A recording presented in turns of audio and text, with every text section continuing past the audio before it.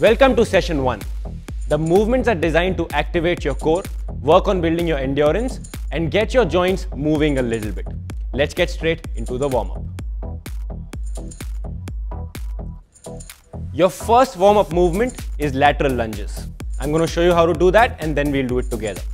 You start with keeping your feet a little wider than your shoulders. Bend to one side, keeping the other knee completely locked and feet flat on the ground. Alternate it with moving to the left and then to the right. We are going to do it for 30 seconds. Let's begin. To the right and then to the left. It's going to work on opening your hips. Very good foundation work for your exercise. Keep breathing, keep your back straight, chest upright.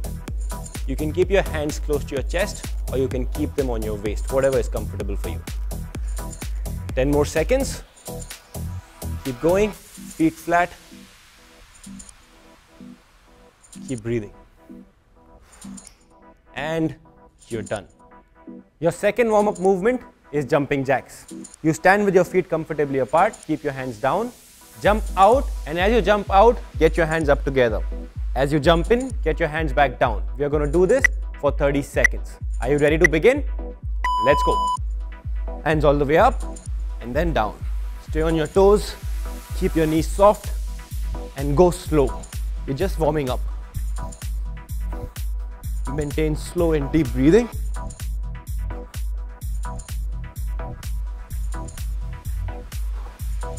Ten more seconds, you're almost there. Keep going.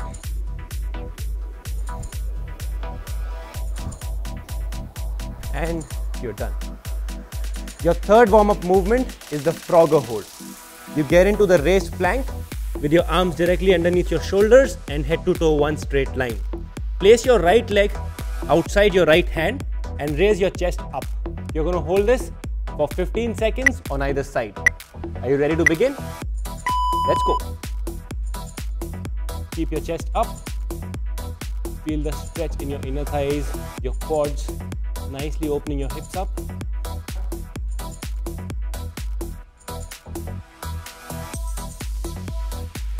And switch. Left leg forward. If you can't get it all the way to the hand, it's fine. Get it as much as possible. Chest up, arms extended. Keep moving. And done.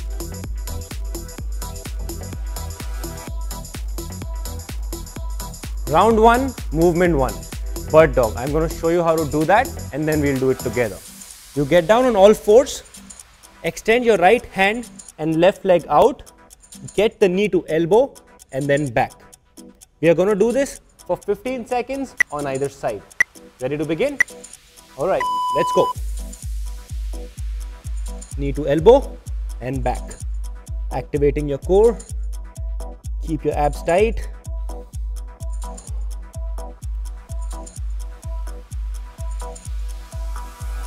And switch. Other side. Also strengthening your spine.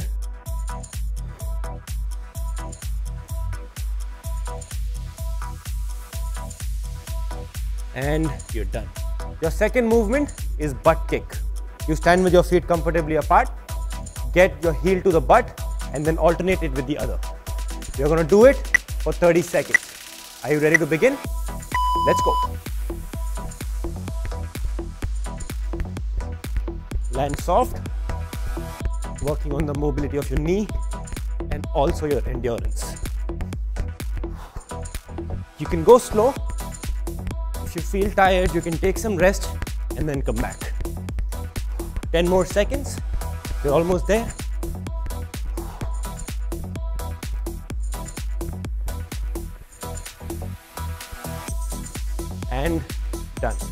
Your third movement is high knees. You stand with your feet comfortably apart again.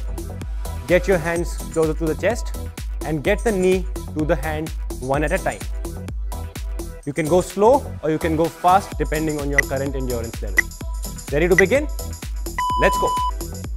Right leg up and then the left.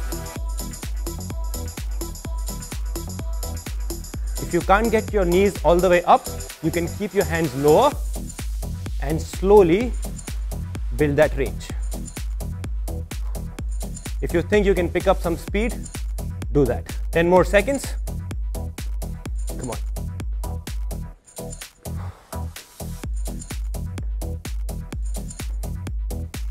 And done. Round two, movement one, bird dog. Down on the ground, 30 seconds on the clock, 15 seconds on either side. Let's begin. Knee to elbow and back. Keep your abs tight, your hips stable.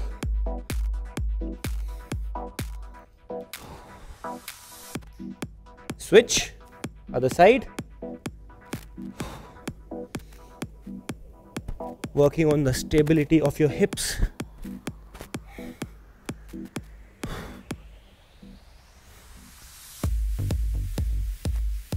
And done. Second movement, butt kicks. Let's begin. We'll do it for 30 seconds.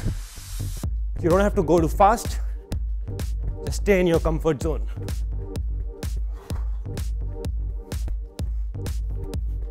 Keep breathing. 10 more seconds. Go slow, land soft. Almost there. And done. Third movement is high knees. 30 seconds on the clock. Let's begin. Get your knee up, one at a time.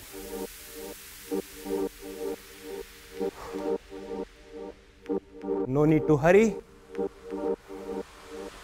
Getting your heart rate higher very slowly.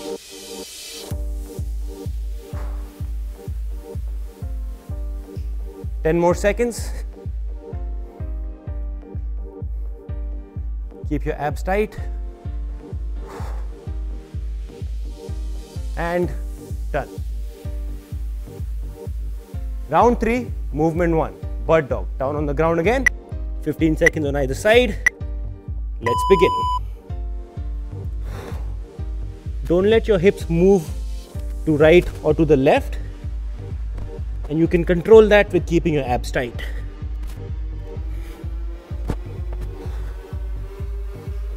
And switch, other side. Keep your head aligned with your spine. Do not let it drop.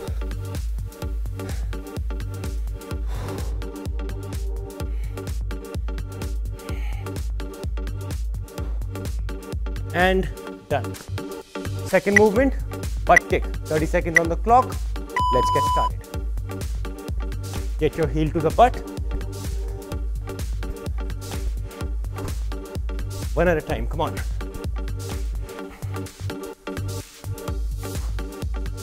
Keep going. Nice and slow. 10 more seconds. You're almost there. Control your breathing. Keep it slow and deep. And done. Your third movement, high knees. 30 seconds on the clock, feet comfortably apart, and let's begin. One knee up at a time. No need to hurry. Take it very slow. These are all foundation movements for you to be able to do advanced movements later.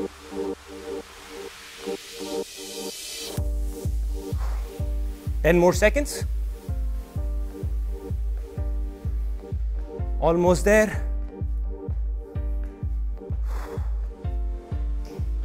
And you're done. Your first cool down movement is the quad stretch. You stand with your feet comfortably apart, grab your ankle, get your heel to the butt, and hold it for 15 seconds. Are you ready to begin? Let's go. if you cannot maintain balance, you can hold on to anything, a wall or a pole or anything that's close by. Keep breathing, maintain that focus, and switch. Another 15 seconds on the other side. Get your heel close to the butt as much as possible. Stretch nicely. And done. Your second cool down movement is the hamstring stretch. You get into the raised plank and raise your hips up to the sky as much as possible, getting your feet flat on the ground and your back straight. You're going to hold it for 30 seconds. Are you ready to begin? Let's go. If you cannot get your heel flat on the ground, that's totally fine. Do as much as possible, but with time, you should get there. Keep your knees locked to give you a good stretch on your hamstrings.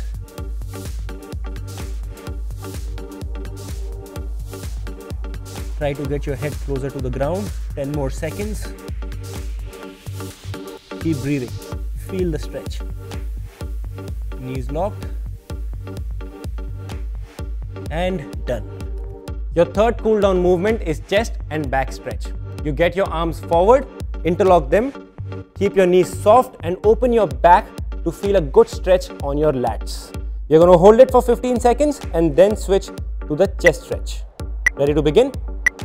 Let's go. Keep breathing. Extend your arms forward as much as possible. Feel the stretch in your back.